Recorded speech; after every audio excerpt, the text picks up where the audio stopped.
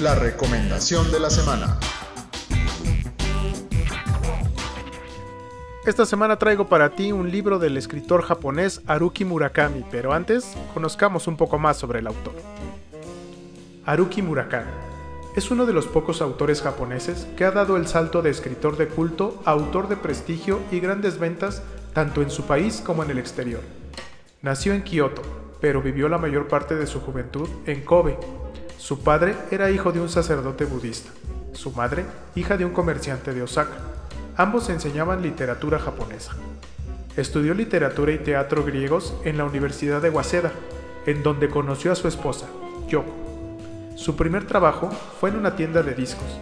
Antes de terminar sus estudios, Murakami abrió el bar de jazz Peter Cat en Tokio, que funcionó entre 1974 y 1982. En 1986, con el enorme éxito de su novela Tokyo Blues, abandonó Japón para vivir en Europa y América, pero regresó a Japón en 1995 tras el terremoto de Kobe, donde pasó su infancia, y el ataque de gas que la secta La Verdad Suprema perpetró en el metro de Tokio. Más tarde, Murakami escribiría sobre ambos sucesos.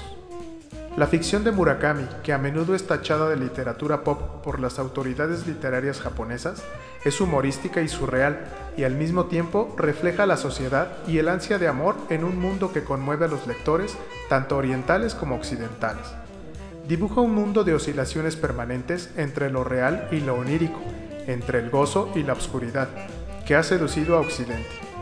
Cabe destacar la influencia de los autores que ha traducido, como Raymond Carver, Francis Scott Fitzgerald o John Irving, a los que considera sus maestros. Es un defensor de la cultura popular, le encantan las series de televisión, las películas de terror, las novelas de detectives, la ropa sport, las canciones pop, ya que todo ello le sirve como nexo con los lectores. Muchas de sus novelas tienen además temas y títulos referidos a una canción en particular.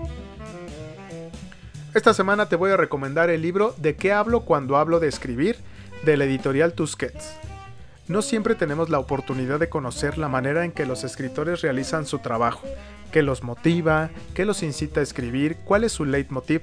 A pesar de ser un escritor diferente, Murakami nos hace un espacio para entrar en su muy íntima y privada vida de escritor, para platicarnos todo aquello que alguna vez tuvimos la curiosidad de saber sobre él un libro cuyo génesis no era precisamente el volverse una publicación para los lectores, sino que comenzó como pequeños textos que Murakami escribía durante sus ratos libres y cuyo propósito era meramente personal, sin la intención de que salieran a la luz todas esas ideas y pensamientos que rondan por su cabeza a la hora de escribir una novela o algún relato. Es un libro donde podremos conocer a la persona detrás de aquellos títulos que hemos leído en algún momento y que nos han hecho emocionarnos y seguir de cerca su carrera como escritor.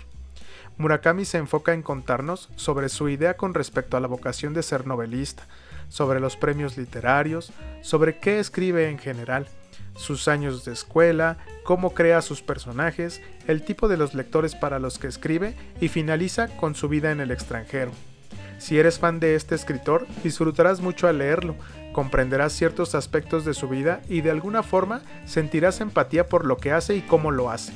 De lectura fácil y ligera, es muy probable que veas su trabajo de una manera diferente una vez que hayas leído este título. Sin duda, un libro que saciará tu hambre de lectura. ¿De qué hablo cuando hablo de escribir? De Haruki Murakami del editorial Tusquets.